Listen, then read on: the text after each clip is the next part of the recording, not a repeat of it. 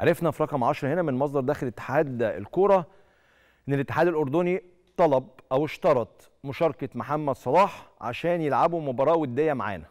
يعني لو هتلعب محمد صلاح معاك أو محمد صلاح هيبقى موجود في المباراة دي اللي المفروض تقام في نوفمبر القادم إحنا موافقين نلعب مع منتخب مصر. محمد صلاح مش هيبقى موجود في القائمة بتاعت منتخب مصر في هذه المواجهة مش عايزين نلعب المباراة. ده طلب صريح من الاتحاد الاردني الأردني لكرة القدم عشان يلعبوا مع منتخب مصر هذه المواجهة على فكرة على فكرة يعني. من حقهم. هتقول لي من حقهم إزاي؟ هقول لك في المباريات الوديه في, في كثير من الأماكن في العالم بيشترطوا ده.